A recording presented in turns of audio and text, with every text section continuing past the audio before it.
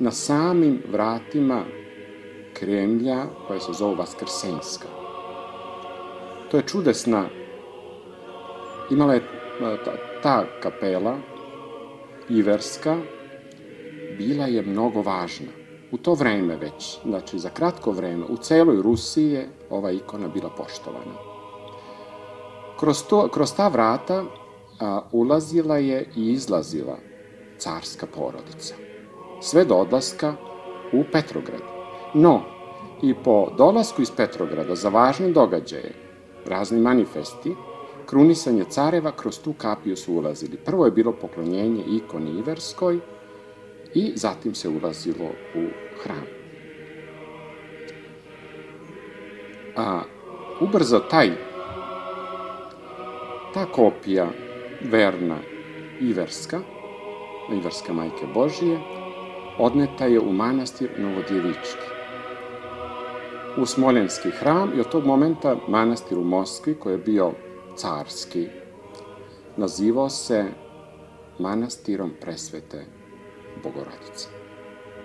Ikona 350 godina nije izlazila iz tog manastira, sve do 1913. godine, kada je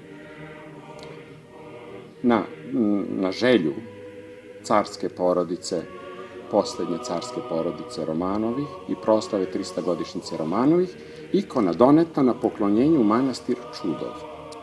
Tako da je narod mogao da se pokloni u vreme proslave ikoni Iverske majke Božje. Naišlo je čudesno vreme, teško. 1929. godine Novodevičevski manastir je zatvoren, ikona je preneta u istorijski muzej i to je trajalo sve do 1000, do 2010. godine. Tada je manastir vraćen Uskoj pravoslavnoj crkvi, Moskovskoj patrijaršiji, a ikona tek 2012. godine na molbu patrijarha Moskovskog Kirila ikona je svečano vraćena zajedno sa crkvenim sasudima koje su tada bezbožne vlasti odnele uz prisustvo predsednika Rusije Vladimira Putina. I, znači, ta je ikona tamo. 1929. godine srušili su Iversku kapelu. Druga kopija Iverske majke Božije preneta je tada u, a, na Sokolničkom trgu u Vaskrsenski hram, gde se i danas nalazi. Vaskrsenska vrata ili kapija srušena je već 31. godine. Tako da je tu nastala i najobičnija jedna rupa na tom mestu i to nikome nije smetalo, a smetala im je kapela, smetala je ta predivna carska kapija. 1994. godine Patrijarh Aleksije II. postavio kamen temelja za Iversku kapelu, a već i, i za a, Vaskrsensku kapiju i već sledeće godine bile su osveštane i kapela i kapija. Tom prilikom je naručena nova ikona sa Atona, sa Atosa i Svete Gore kao blagoslov, koja se danas, znači majke, Iverske majke Božije kopija, koja se danas nalazi u Iverskoj kapeli, a ona prethodna je ostala u hramu gde se čuvala u najteže vreme bolševizma. Da pogledamo i prilog Iverske ikone. On traje dva minuta i koja je sekunda iznad.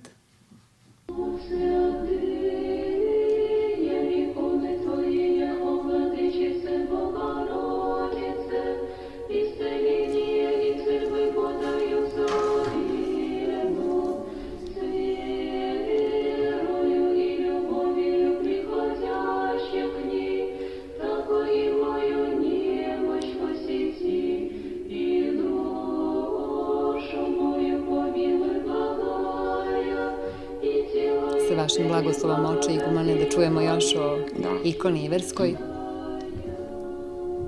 U vreme cara Mihajla, cara Aleksija Mihajlovića, patrijarh Nikon čuveni, naručio je jednu opet kopiju istih dimenzija kao što je original, Majke Božje Iverske Satosa. I tu je ikonu poklonio u Valdajski Iverski manastir. Ona je predivno ukrašena, imala je okov neki basnoslovno skup, međutim, 30. godina manastir je zatvoren, monaštvo pobijeno, okov nestao, kao i sama ikona i njoj se gubi trag. A što se tiče ikone a, Iverske koja se nalazila u Iverskoj kapeli, interesantno je to što ona pozadi imala dve alke, što je bio znak da je ona nošena po domovima. Toliko je bilo poštovanje da je svaki pobožni moskovljanin želeo da je ima bar jednu noć u svojoj kući. Tako da je ona nošena i time su udovoljavane molitvene želje Moskovljana pravoslavni. To je što se tiče ikone Iverske, koja je i kod nas, a koja je i, i danas u Rusiji. Tako da ima neka veza, mora da se prizna. Tako da blagoslov Atosa, blagoslov i Verona, počiva i na nama, i na Rusima, i na Iveriji, a to je danas Gruzija, kako kažu sveti oci, da je to deo majke Božije, baš Iverske, zato se zove Iverska, bukvalno kad se prevede je gruzinska. Evo nas opet u studiju i polako učimo sa blagoslovom Svetog Luke da uz ikonu cveće ide i dobre želje. Imamo još jedan prilog manastir Iviron, Sveta Gora, da bismo podkrepili i snimcima ovu divnu priču i vaše blagoslove, dakle prilog.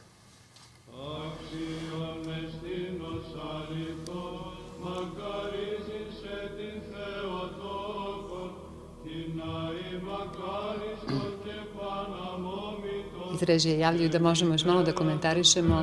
Oče, vi ste često na Svetoj gori i pretpostavljam da ste videli i uživo sve ovo čemu govorite. Sigurno ne treba da zaboravimo to da kako bih nazvao da je ikona Majke Bože Iverske prosto kao jedna žila kucavica za sve situacije koje se događaju u svetu, da, da prosto Majka Božja to prati, to mi svi znamo, ali da danas u Iveronu je to u stvari tako. Da je dužnost vratara, dužnost crkvenjaka da prati njene promene. Šta se tu događa?